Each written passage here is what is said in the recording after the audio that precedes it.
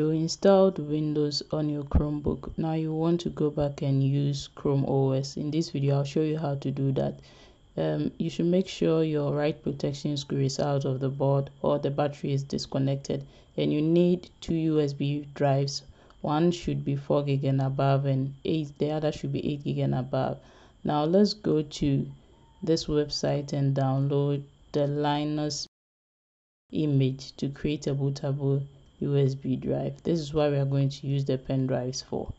The 4 gig will keep the Linus image and the 8 gig will keep the Chromebook recovery image. Let's open another tab and download this software Rufus. We will use Rufus to create the Linus Mint bootable USB drive. So open your internet browser and type Rufus download. If you are using the 64 bit, you download the first one. If you are using the 32 bit version of Windows, you download the 86 bit version. Now that the Rufus is done downloading and our Linus image is also ready, open Rufus, select the, this image where you downloaded the Linus to is in my downloads folder so I'll select it. Now change partition scheme to GPT and click on start. It will take a little while to finish creating the USB drive. Click OK OK. This drive will be completely formatted so make sure if you have any files that you like to keep you should do that before you use the Rufus to create the bootable. Now let's create the Chrome recovery utility drive that we will use to recover our Chrome OS.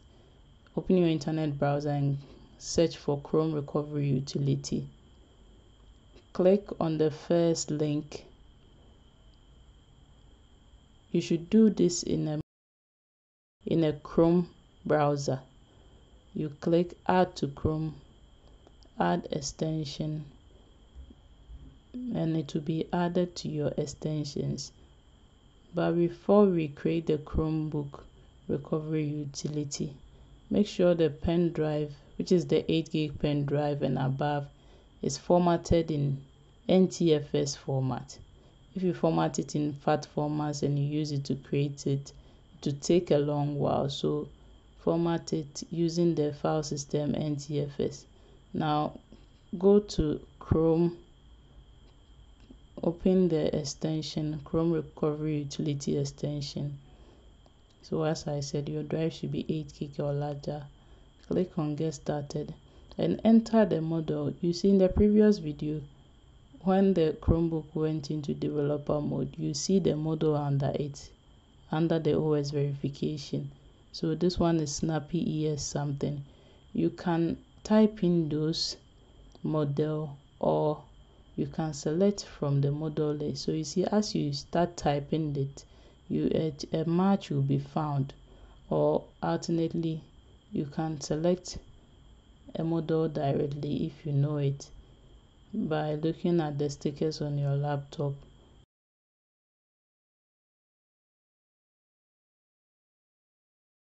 Select your drive USB drive. Click on continue show advanced options settings and select stable download. Now click continue. This will take a long while for it to be done so i'll skip i'll skip all of this process. When it's done you see this screen. Click on done. Now let's go to our chromebook. Insert the linus mint and then turn it on and Keep on pressing escape to access the boot menu. Navigate to the boot menu and select the Linus Mint USB drive. It will take a long time. I've skipped most part of the video. You you select Start Linus 2.1. I'll leave the link to download the Linus in the video description this will take a long time. You should be patient. It's not as short as you are seeing in this video. You select a network or a Wi-Fi and then you connect it. Now on the taskbar click on terminal. That black icon there shortcut on the taskbar terminal to open the terminal. We will use this terminal to download the firmware that will help us go back to Chrome OS now type in these codes as you see it on your screen. It's just under the screen. Type it as you see it. So it's cd tilde and then the other ones. You press enter after typing it.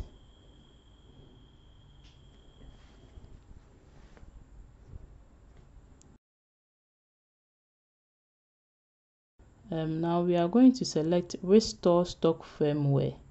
Restore stock firmware. And you should make sure your write protect screw is out or your battery is disconnected. I didn't do that before i started this video. So i'll get the, an error as we proceed. If you did as i said in uh, in the beginning of the video you will not get this error. So you select restore stock firmware. Yes we want to continue. Why? Now we restore using a chrome os recovery usb so select the option that shows on it as such on your screen connect the chrome os or the chrome os recovery image pen drive. So we will insert our 8 gig or above or larger pen drive and then select it. So um in my case i used the 16 gb and it's showing 14.65 you press the number as it shows and then yes so as i said i, I got an error but if your write protection screw is out or your battery is disconnected you won't get this error. Press enter to go to main menu and then p2 off. Remove the linux mint drive as well and press enter. Turn it on again and press Ctrl D to skip OS verification for now. We will do the OS verification later.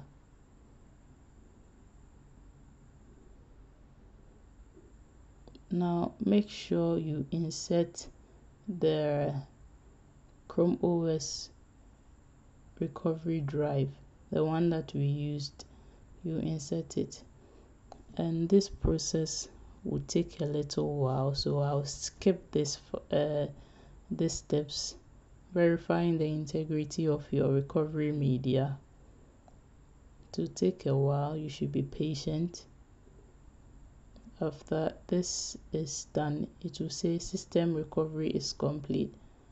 Now all we have to do is remove the recovery drive or the SD card and your Chrome OS will start. But first let's turn it off and now connect my battery.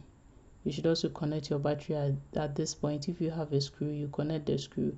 You turn it on and this time we will turn on OS verification. So you press spacebar to turn it on and enter and it will boot in verified mode. Welcome. Now connect to a network. You can either install update and it will take a little while. I recommend you do that or you skip and remind later. You click on that one but i recommend you search for the updates or you can sign in. So this is how to restore your chrome os